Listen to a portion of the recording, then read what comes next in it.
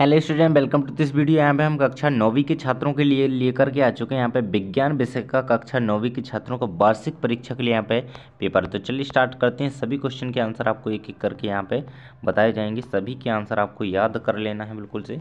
यहाँ पर आपको सही विकल्प स्टार्ट होते हैं और पहला क्वेश्चन है आपका इसमें आठ अंक के सही विकल्प रहेंगे आपके पहले। बर्फ़ का गलनांक है तो यहाँ पे बर्फ़ का जो गलनांक होता है, दो सौ तिहत्तर दशमलव वन फाइव केल्विन होता है। दो सौ तिहत्तर केल्विन यहाँ पे आंसर आप लगाएँगे। अगला क्वेश्चन है आपका, तंत्रिका ऊतक की कार्यात्मक इकाई होती है।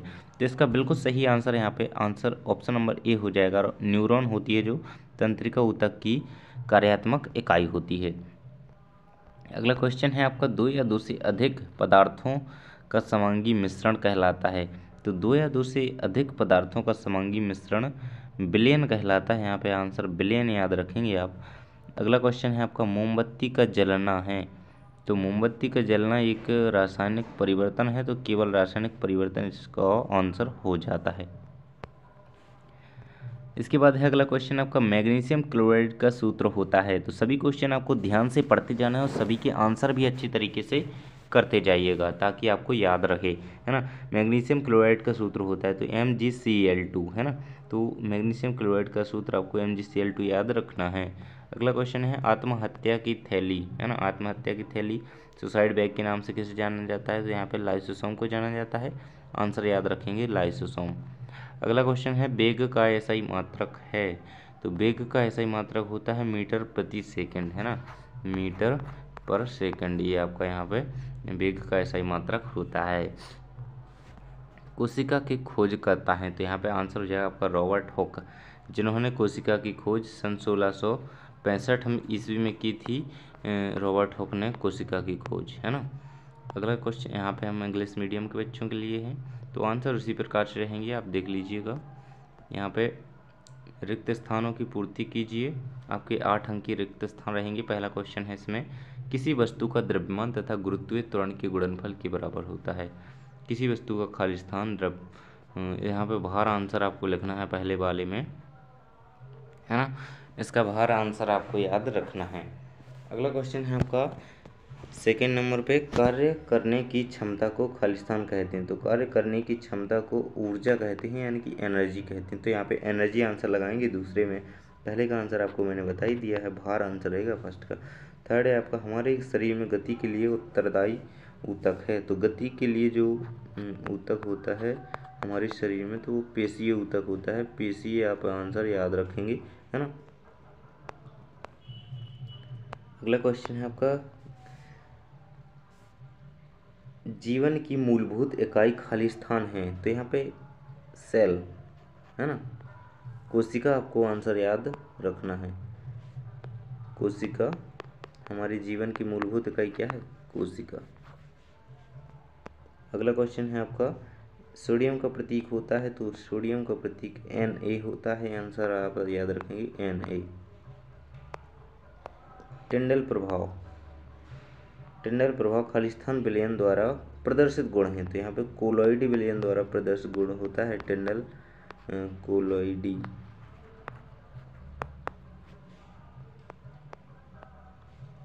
अगला है, पौधों की पत्तियों में पाई जाने वाली छिद्र, जिनसे गैसों का आदान प्रदान होता है। तो उन्हें हम रंध्र कहते हैं। यहाँ पर रंध्र आपको आंसर याद रखना है। अगला क्वेश्चन है, एक भार बराबर, एक किलोग्राम भार बराबर कितना होता है? तो एक न्यूटन होता है। यहाँ पे आंसर याद रखेंगे। एक किलोग्राम भार बराबर एक न्यूटन। सही जोड़ियाँ देख पा रहे होंगे आप यहाँ पे। सही जोड़ियाँ आपकी सात अंकीय रहेंगी। इस प्रकार से आंसर रहेंगे इनका। पहला क्वेश्चन है आपका, यहाँ पे ब्रोमीन। ब्रोमीन की जोड़ी किससे मिल जाएगी? ब्रोमीन एक धातु है तो यहाँ पे ऑप्शन नंबर ई से इसकी जोड़ी मिल जाती है। ई नंबर के पॉइंट से घेंगा रोग तो आयोडीन की कमी से होता है। क्लोरोफिल पत्तियों में पाया जाता है। फ्लोएम तो भोज पदार्थों का सम्मान करते हैं पौधों में, है ना? ये देखिए। और कैपलर कैपलर ने ग्रहों की संबंधी गति के नियम दिए थे। ग्रहों की गति संबंधी नियम दिए थे। जाइलम जो करता है, जल एवं खनिज लवणों का संवहन करता है पौधों में। गति का द्वितीय नियम क्या होता है? एफ़ एम ए होता है तो इस प्रकार से आपके आंसर सभी कंप्लीट हो जाएँगे, है ना? तो ये सभी आपके आंसर रहेंगे, इन्हें आप अच्छी तरीके से याद कर लीजिएगा।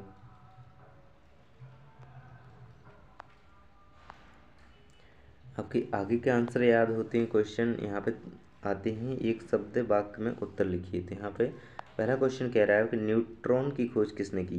तो यहाँ पे पहले का आंसर याद रखेंगे आप, जेम्स चैडविक ने, है ना? चैडविक आंसर याद रखना है आपको। चैडविक, जेम्स चैडविक सर जो थे उन्होंने न्यूट्रॉन की खोज की थी।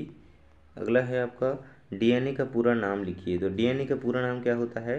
डीएनए का पूरा नाम होता है डीऑक्सी राइबो न्यूक्लिक एसिड। इस प्रकार से आपको इसे याद रखना है। हिंदी में भी आप इसे लिख सकते हैं, ऐसे करके डीऑक्सी राइबो है ना? अगला क्वेश्चन देख पा रहे होंगे आप, कोशिका सिद्धांत किसने दिया? तो कोशिका सिद्धांत देने वाली दो वैज्ञानिक थे, स्लाइडेन एंड स्वान, है ना? स्लाइडेन व स्वान। इन दोनों ने कोशिका सिद्धांत दिया था, इनका नाम आप लिख देंगे स्लाइडेन स्वान अगला क्वेश्चन है स्थिर अनुपात का नियम किसने प्रस्तुत किया था? तो लेबोजियर ने यहाँ पे जो है स्थिर अनुपात का नियम प्रस्तुत किया था।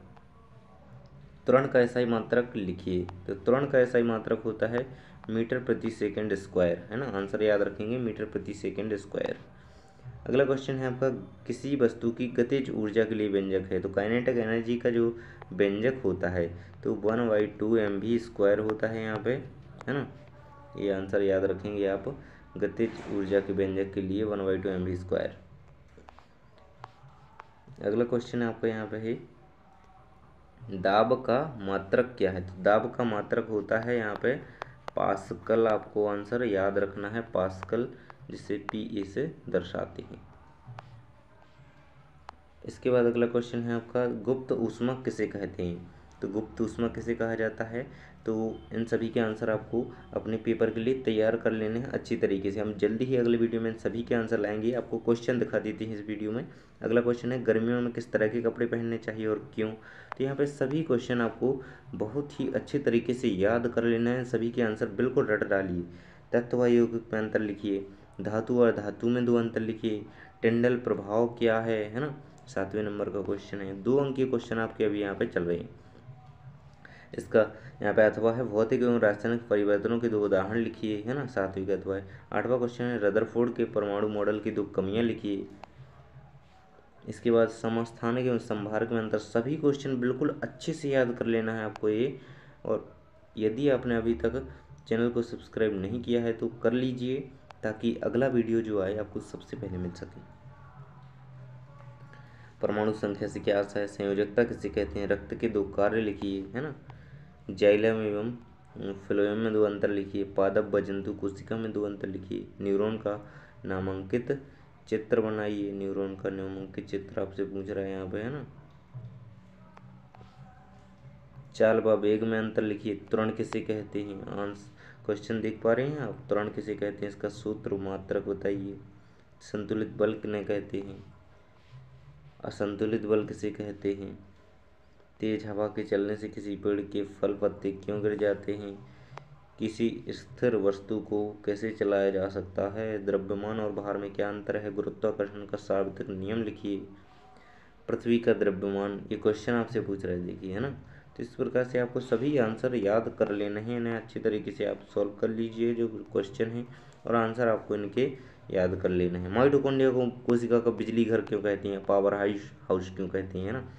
मोस्ट इम्पोर्टेंट क्वेश्चन बार बार पूछा जाता है।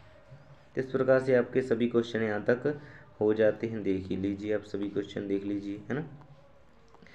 जल्दी ही अगली वीडियो में सॉल्यूशन आने वाला है सभी का तो आपको सब्सक्राइब कर लेना है। थैंक्स फॉर वॉचिंग मिलते हैं अगली वीडियो में।